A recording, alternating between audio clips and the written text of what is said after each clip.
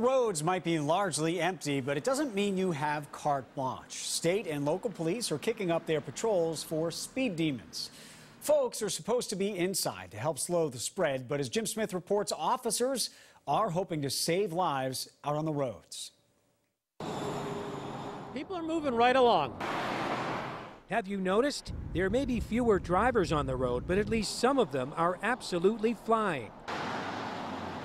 Wide open highways spawned by the pandemic are tempting speeders to hit the pedal hard. Everybody's stepping on the gas instead of the brake. Wellesley's police chief says it's a big problem, especially on roads like Route 9. Last week, I had an officer write two speeding tickets within an hour of each other. Middle of the day, one was for 92 miles an hour, and the next one was for 87 miles an hour. We had a double fatal accident last week.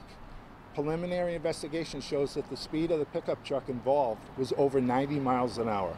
State police tell us that in the past four days, additional patrols have handed out well over 100 speeding tickets.